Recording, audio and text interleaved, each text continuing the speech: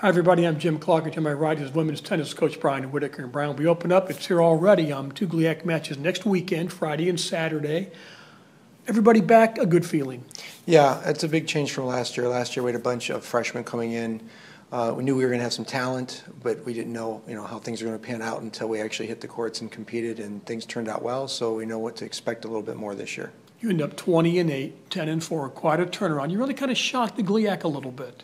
Yeah, I think so. I mean, uh, we had a good recruiting class. Uh, we felt good about the talent, but again, you don't know till you compete, and the girls really competed well up and down the lineup, and it made a huge difference for us from the prior year. And now on the other side, no shocking the GLIAC this year.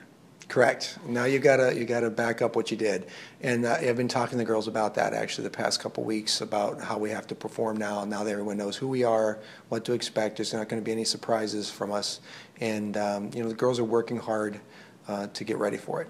Lineup not quite set, but tell us who's back. We've got uh, Sofia Luganova, who played number one for us last year. She finished high, highly ranked in the Midwest.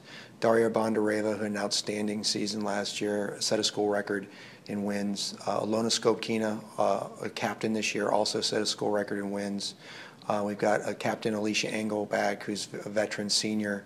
Uh, we've got a transfer student from Malone, Asia Harris, who I think uh, offers us a lot of experience.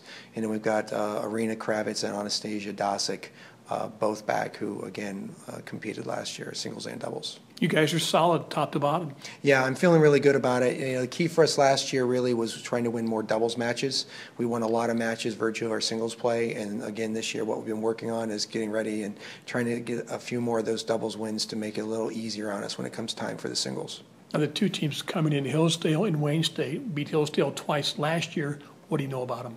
Hillsdale's tough. They're uh, they're very good competitors. Uh, first time we beat them, uh, a little bit easier. Second time we played in the GLIAC tournament was a tough 5-4 win. Came down to a third set at number one singles, and we pulled it out. Uh, they're well coached. It should be a good match. Um, and then, of course, Wayne State, uh, they've been one of the premier programs the last few years, and they're very well coached and very good doubles players. So we're going to have to really step it up. Good to have them here. Yes, absolutely. Be, it's nice to be here this year against them.